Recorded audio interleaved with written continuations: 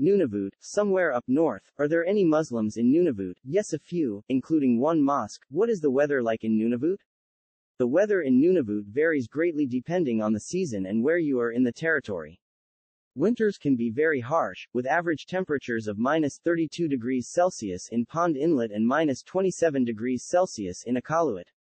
Summers can be quite mild, with temperatures ranging from an average of 11 degrees Celsius in Baker Lake in July to 6 degrees Celsius in Hall Beach. It is best to be prepared for all types of weather when traveling to or living in Nunavut.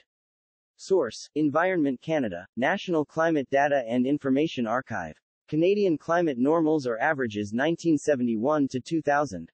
Nunavut Mosque. There is one mosque in Nunavut, in Iqaluit, because the daylight hours in midsummer, as well as dark times in winter most of the times in Nunavut Masjid, they pray after Ottawa Salah times. Some Muslims in Ramadan fast by Ottawa time or Makkah time, due to the unusual sunrise, sunset hours, fasting in Ramadan, but it is particularly challenging for the thousands who live near the Arctic Circle, where the sun barely sets. In Iqaluit, one of Canada's northernmost cities, dusk begins around 11 o'clock p.m. By about 2 a.m., the sun is up again. In St. Petersburg, daylight lasts at least 21 hours. In Stockholm, the sun sets at 1 a.m. and rises just two and a half hours later. The land of the midnight sun does not offer much time for repast.